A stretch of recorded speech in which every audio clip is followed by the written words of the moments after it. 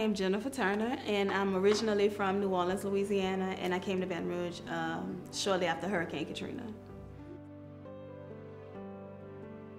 So what led me to Elevate, I was actually going uh, through a rough time. I was dealing with uh, grief and also going through a breakup, so I was in a very dark place. And I actually didn't want to go to my home church. And so I asked my friend who's a member here what time church service start. And she told me, and so I told her if I felt up to it that I would come. And so Sunday morning I got up, I felt like coming to church, so I did. I came to visit and I came to the first service at 9.15 and Holy Spirit told me to join, but I just kind of went back and forth with it and I just was like, no, I'm already a part of a church. I don't think I need to join, but I ended up staying for the second service. And Apostle Keith actually uh, came over to me during service and spoke a word to me. And then Holy Spirit spoke again and told me to join Elevate. And so I did. Actually, with that moment when I joined March 6th of 2022, um, it was a reminder that God was with me. When Apostle spoke to me, it was the exact words that I was crying out to God about. And so I knew that God was talking to me, that He was responding to my needs. He wasn't answering in the moment because I was still going through a lot of hurt and pain, but Him speaking to me let me know I'm with you, I heard you, and I'm going to take care of you. So that was a very pivotal moment that I, I knew God heard my, my cries and heard my voice. The ministry has shaped my personal faith by the transparency that goes forth in the ministry. Um, the people there, they have a heart to serve and there's a lot of transparency and it makes it easier for me to open up and for me to share my story for me to cry worship do whatever i, I feel like doing without being judged and without uh, fear of being talked about and so just to see the heart of people and the way that they love on each other and loved on me even when nobody really knew me it just made me realize what real ministry was really about.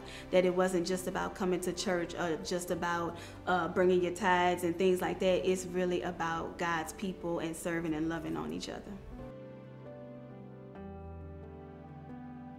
Um, when I witnessed uh, the provision and answered prayer was actually recently. Um, I have a small business uh, where I make uh, pecan candy and ooey gooey cakes and lately I had been feeling like I had lost my zeal for the business. And so I was asking God what he wanted me to do. And so um, Holy Spirit said just post every day for a week. Nothing about, just everything about the business. No other things. Don't share any other memes or anybody else's stuff. Just post strictly about the business.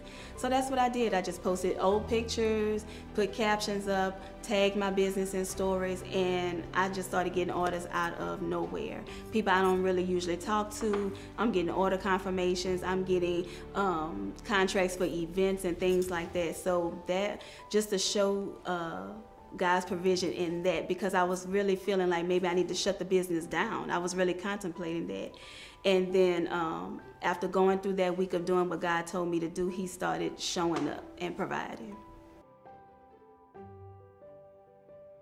I have seen so many people be set free and delivered and healed for real, not just uh, coming down the aisle, giving my life to Jesus and going about uh, your business, but no, really turning their lives around and living for God and just to see the difference in people's uh, personalities, attitudes, the way they speak about themselves and other people.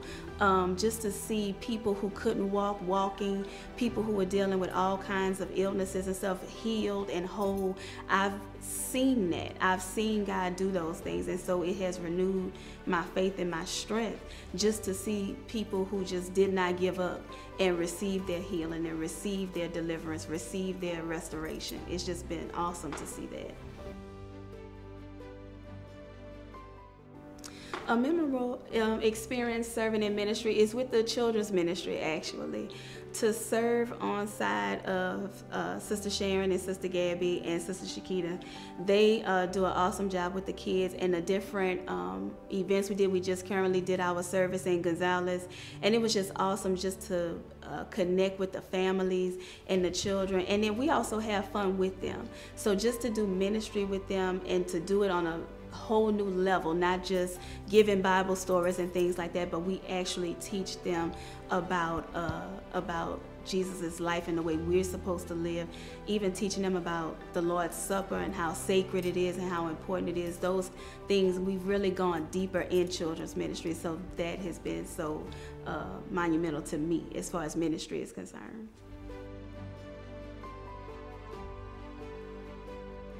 The advice that I would give to people coming uh, to visit Elevate is to take God out of the box, take church out of the box, to not, um, to, it, it's just not your everyday church. Just don't come in with preconceived notions about the way church should be run or how service is. Take all of that out of the box and just come and be open to whatever God does in the moment. Just be open to the worship, be open to whatever God wants you to receive. I would tell anybody who's coming to who's contemplating coming to join the ministry is to uh, take church out of the box, to not uh, come in with any preconceived notions about the way church should be ran. Just come and be open to whatever God has for you in that moment, whatever kind of worship, praise, uh, uh, ministry that goes forth. Just be open to all of that.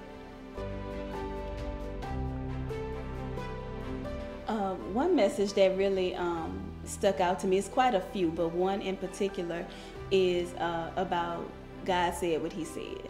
It's really about just standing on His word and standing on His promises. And so we always have to be mindful of God's word towards us, no matter what it looks like, even if it doesn't look like anything of what God said, that we have to believe His word and believe His promises. God is God, and He can do whatever He wants to do, however He wants to do it. And so we have to stand on that. So if He said it, then that's exactly what it is.